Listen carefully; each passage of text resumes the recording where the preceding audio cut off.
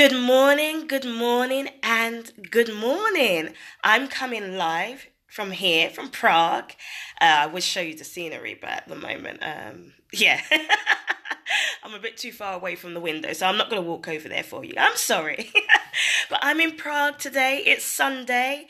Uh, I've been here since Thursday. It's been amazing, fabulous as always, growing, and I can't wait to touch my UK soil tomorrow, probably in the afternoon. So this morning I woke up and I wanted to share on this fine Sunday morning um, this poem that I came about. I believe it must have been about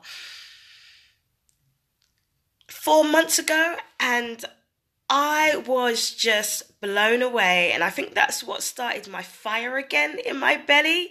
It brought my passion back with a vengeance. Oh my goodness. But before I go into that, I want to say good morning. Say good morning it's rude to not say good morning. How are you doing? Um, yeah, so I want to break it down for you. Again, this is just based on my opinion, on my interpretation of the poem, and it's not going to be like a five minutes. It's really short, but the title is called Our Deepest Fear, and it's by Marianne uh, Williamson. And I believe that you might have heard this poem from different films. I think I heard it in Coach Carter, and I think that's really where it jo- like it drew me in. Like, whoa, oh my goodness, whoa. So here I go, and then yes, I am cheating. I don't know it word by word, so I'm going to be reading parts of it from my laptop. So the first part is our deepest fear is not that we are inadequate. Our deepest fear is that we are powerful beyond measure. When I heard that, I thought, whoa, powerful beyond measure. Let's keep going. It is our light, not our darkness, that most frightens us. And for me, that's where I've realized we are all afraid of what we actually have. We have, as what Les Brown said, as Les Brown says, we have greatness inside of all of us. And I think that's what frightens us because we know what we are capable of. We are capable of so much stuff, so much powerful stuff that it actually frightens us. oh, let me carry on. We ask ourselves, who am I to be brilliant, gorgeous, talented, fabulous? Actually, the question is I've just put that in who are you not to be? We always says, I can't be this. I can't be that. And the real question is, why can't you be that?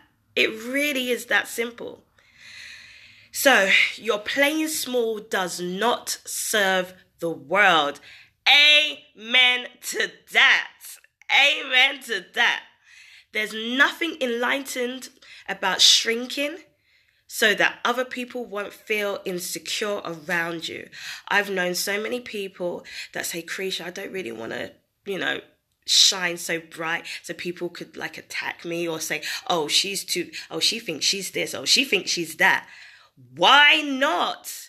Sometimes it can inspire people how powerful you are.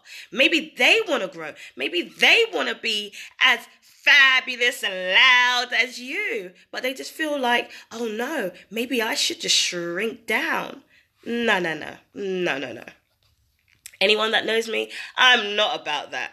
But I am also, I did start to feel like maybe I should be quiet. Maybe I am too loud. Maybe this, maybe that. And in fact, I am who I am. And I am happy about that. And I hope you start to become happy who you are. And if you want to be loud and proud, say it.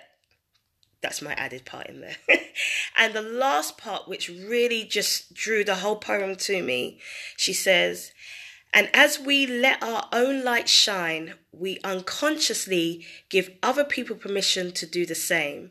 As we liberate from our own fears, our presence automatically liberates others. And I just want to say, as we lead on Sunday, going into Monday, be all that you can be. Be all, as they say, a tree doesn't grow to a certain height.